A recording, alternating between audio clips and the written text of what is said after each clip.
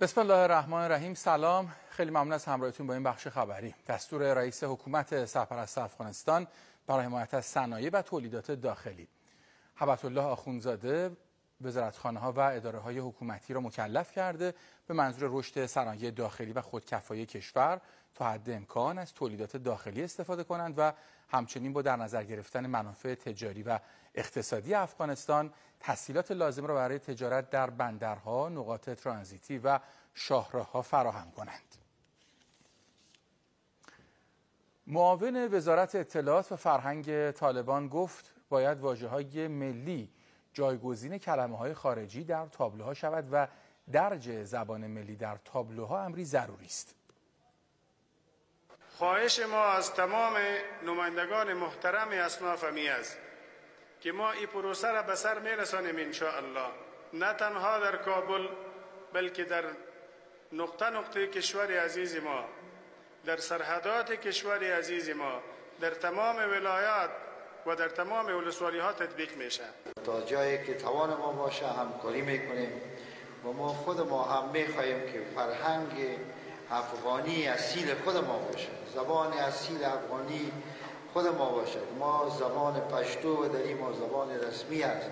و حتی زبانهای دیگه محلی ما را هم تقویه کنیم.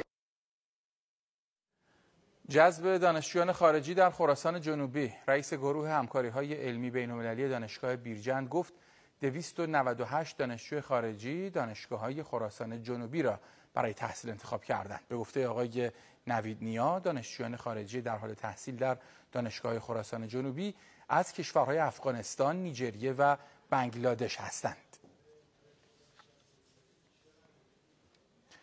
آغاز 28مین دوره رقابت‌های انتخاباتی تیم ملی مشتزنی افغانستان در کابل به گفته سخنگوی کمیته ملی المپیک افغانستان این رقابت‌ها با حضور 287 ورزشکار از 16 ولایت در وزن‌های مختلف برای یک هفته در حال برگزاری است.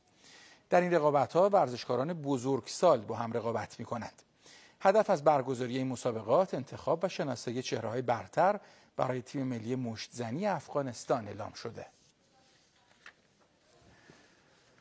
فرمانده کل انتظامی از بازگرداندن 850 هزار طبعه غیرمجاز از ایران خبر داد. سردار رادان با بیان اینکه انتقال و بازگشت اتباع غیرمجاز بر کاهش جرم تاثیر مثبت دارد گفت عزم پلیس برای انتقال اتباع غیرمجاز از کشور است و پلیس به مردم تعهد داده که تا پایان سال دو میلیون نفر از اتباع غیرمجاز ساکن ایران را به کشورهایشان بازگرداند.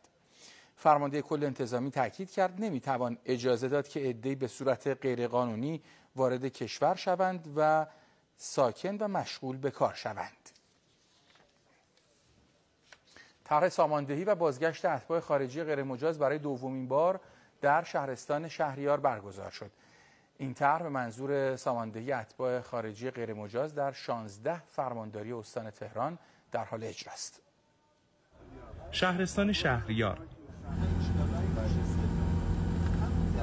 مقصدی دیگر برای اجرای طرح ساماندهی اتباع غیرمجاز بعد پشت سر شما هستم. چش چش پشت سرتون دارم در راستای ساماندهی اتباع خارجی استان تهران امروز نهمین طرح ضربتی استان تهران و دومین طرح ضربتی در شهرستان شهریار اجرا شد.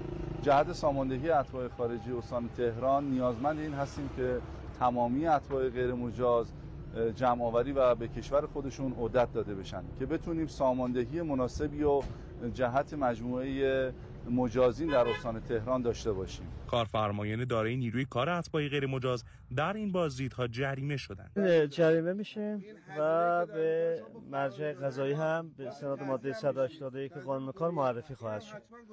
هم اتباعی که فراری دادن هم اتباعی که داریم الان شناسایی می‌کنیم. حتما اینو گزارش بکنید با مرجع قضایی. برخورد بشه برخورد خیلی سفت و سختی هم بشه. که دیگه به خودشون اجازه ندن. علیرغم که بار چندم شما تشو دوستان ما اومدن. باز شما اتباع داشتید.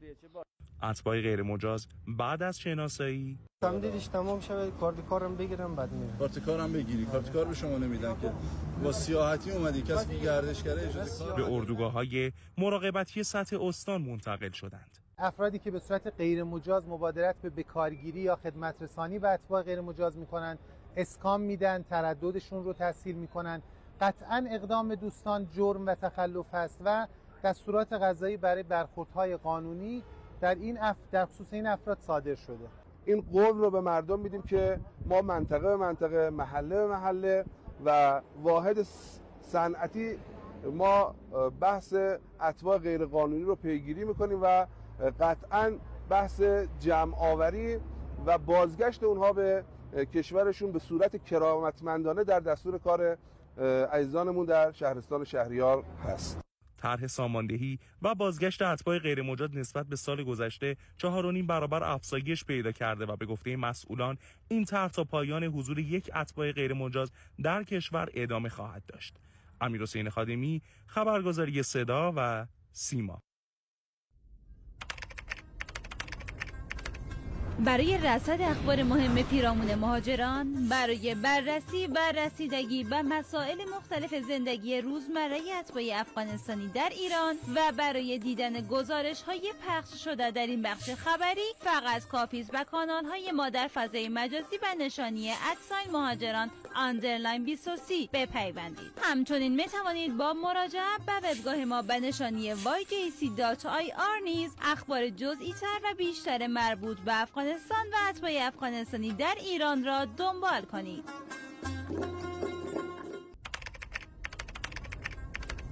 برای رصد اخبار مهم پیرامون مهاجران برای بررسی و رسیدگی به مسائل مختلف زندگی روزمره اتباع افغانستانی در ایران و برای دیدن گزارش های پخش شده در این بخش خبری فقط کافیست به کانال های ما در فضای مجازی به نشانی at sign مهاجران underline 23 بپیوندید. همچنین می توانید با مراجعه به وبگاه ما به نشانی yjc.ir نیز اخبار جزئی تر و بیشتر مربوط به افغانستان و اتباع افغانستانی در ایران را دنبال کنید.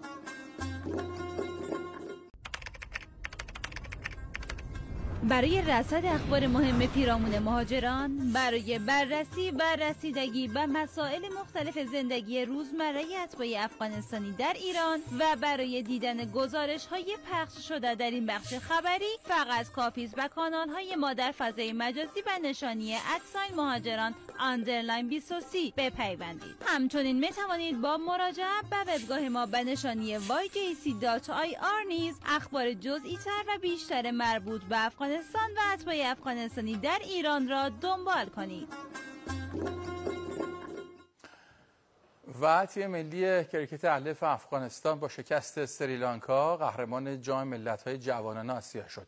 ملی پوشان افغانستان در دیدار نهایی جام ملت‌های جوانان آسیا سریلانکا را شکست دادند و برای نخستین بار قهرمان این مسابقات شدند. این مسابقات با حضور هشت کشور و میزبانی عمان برگزار شد. خیلی ممنون از همراهیتون. شبتون بخیر. خدا نگهدار.